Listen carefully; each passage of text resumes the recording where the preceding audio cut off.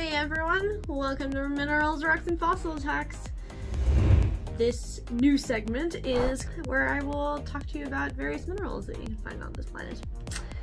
The first of these will be the most abundant mineral on Earth, which is feldspar. Sorry, very distracted, my gecko's out. Okay, so what is a feldspar? So it is a group of rock-forming tectosilicates, also known as frame silicates. Basically, framework minerals are just things that, minerals that make up rocks, make up the majority of rocks. She's back out. She's back out. Hi, Newt. Newt the gecko. She doesn't come out during the day usually. You can see her little head poking out. Alright, so, feldspars. Uh, they make up 60% of the exposed rocks on the surface in Earth's crust. They also are what make up our soils and clays. There are actually several types of feldspars, the most common being orthoclase or K-spar. So these minerals here, potassium feldspars. And then you have albite and anorthite, which make up our plagioclase, which are these white ones in this rock. Um, they're calcium and sodium based uh, feldspars. Alright, so how is it that there are so many kinds of feldspars? Why are there multiple kinds of feldspars? Why is it not just one, one thing? Well, feldspars crystallize in magmas. And depending on that magma's composition, um, different cations combine with aluminum and silica, which is SiO2, and they combine in different amounts, and that creates different types of feldspars. So let's look at a couple of diagrams. So the first thing you will notice is that Eric will be so kind as to put the compositional phase diagram for feldspars right here so that I can show it off. if you look up at the top, that is where orthoclase and microcline are K-spar potassium feldspar end member goes. That is KAlSi3O8. That is its chemical composition. Starts up at the top. You look down the side, it'll say sanidine. And as you go from that end member, you'll go sanidine and orthoclase to albite. So albite, end member for our sodium plagioclase. So that'll be Na, Al, Si3O8. And from albite, as we go across the bottom, you go oligoclase, andesine, labradorite, bytownite, and then anorthite. And anorthite is our other end member of the triangle. That is our calcium plagioclase. So that is CaAl2Si2O8. And then there's this big gap on the triangle. That's our miscibility gap. So that is how we get our uh, different feldspars. That's what it looks like graphically. And then on this side, we're gonna have our, basically our magma composition chart where it shows you how much feldspars make up. And as you look across, we go from felsic to intermediate to mafic to ultramafic. Don't worry too much about what those means, just know that those are different compositions of your magma. And depending on the type of magma you have, tells you how much uh, feldspar you have in there. So our felsic and our intermediates are over 50% made up of feldspars. Um, and it varies on which kind of feldspars it is. It could be K-spar, it could be plagioclase. And as you go closer to your mafic, less than 50% of your mafic rocks have felt are made of feldspars. And then your ultramafic, there's hardly any feldspars in there at all. and the feldspars are the parts of those rocks that tend to make them a little lighter colored. So, just to give you an idea, I have different types of uh, rocks here that have feldspars in them. So if we're looking at our intrusive rocks, rocks like this granodiorite, all of the white that you see in there is plagioclase, so it makes up a vast majority of this granodiorite. Whereas if you were to look at this andesite, there's not as much in there. It's, it's darker.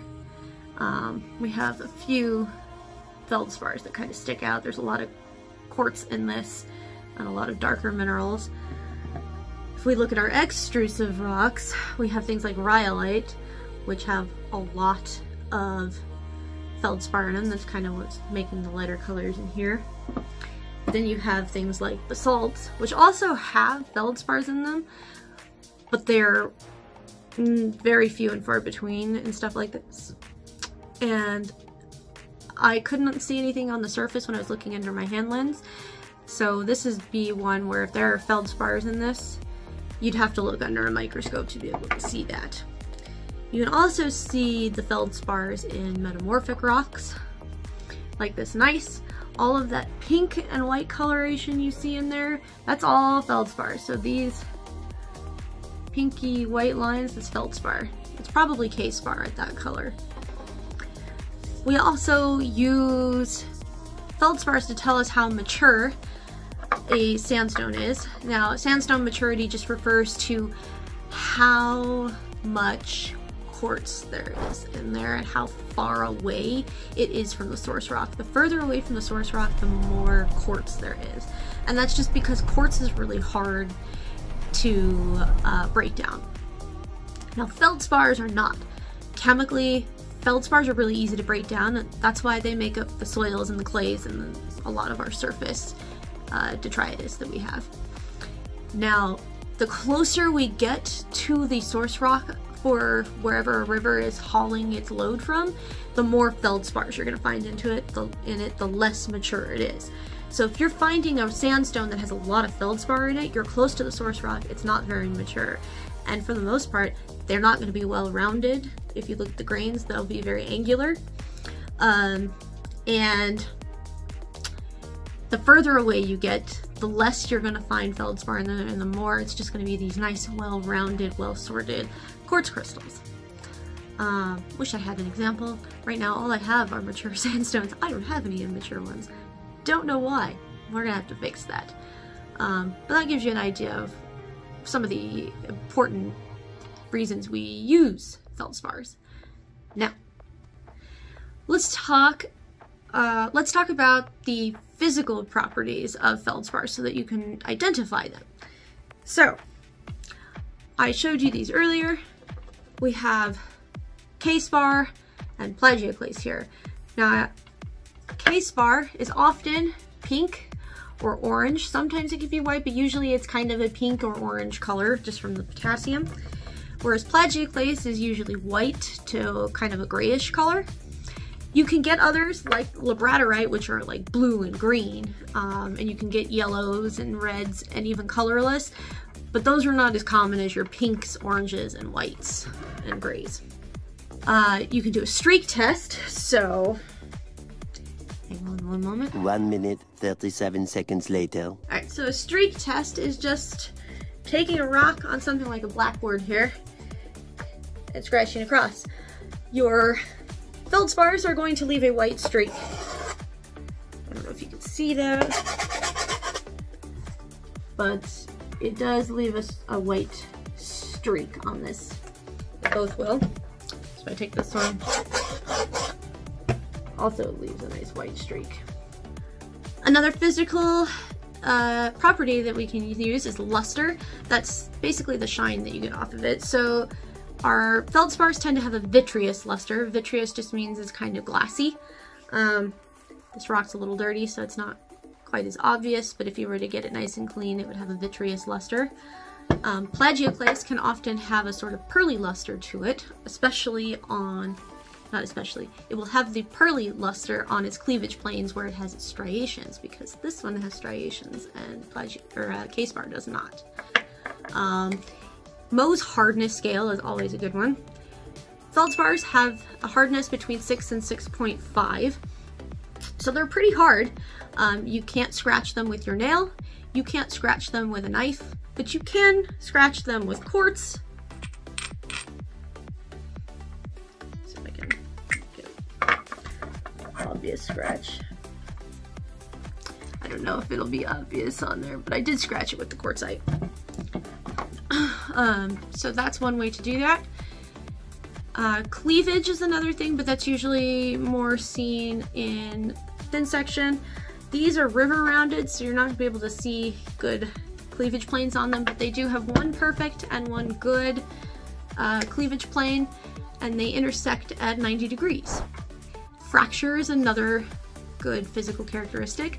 The fracturing occurs on the cleavage planes, and they're uneven to conchoidal.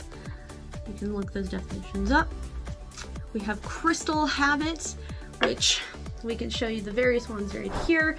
So orthoclase, like this, has an anhedral or euhedral crystal habit. Um, they're commonly elongate or tabular, which you can see in this. Elongate and tabular makes a nice little square. And then your albite is commonly tabular um, has divergent aggregates, granular, cleavable, massive. This one's massive. This one's also river rounded, so it's good for looking at, not necessarily for a lot of the, the crystal structure, um, unless I break it. And then anorthite is anhedral to subhedral um, and granular. Um, other identifying features, especially under a microscope, feldspars like to twin. So that means that they'll basically have two pieces that kind of stick out from each other. They twin a lot. Um, and it looks really cool under the microscope. Maybe, maybe Eric can find you a nice little microscope picture here. And just to end this fun video, we have some fun facts. Uh, so, as we mentioned, they crystallize from magma, they weather and clay minerals, they're used in glass making, ceramics, and sometimes a filler in paint, plastic, and rubber. So we find use for them. In archaeology, it's used for potassium argon dating, um, argon argon dating, and luminescent dating. I'm not an archaeologist, so I'm not entirely sure what that last one is, but hey, okay. Um, a rock with with a high feldspar content was analyzed on Mars by Curiosity. So we know that Mars has feldspars. Super cool. Um, and feldspar has several types of uh, gemstones. Those gemstones include moonstone, orthoclase, amazonite, andesine, labradorite, labrador, labradorite, and sunstone. So lots of fun uses for feldspars. Hope you guys learned a lot today and uh, fossilize you later. Monoclinic on partner. You really like your twins and you make play shells. Oh, with triclinic and rooted and nice. It's gems like you. The rocks, rocks, where they play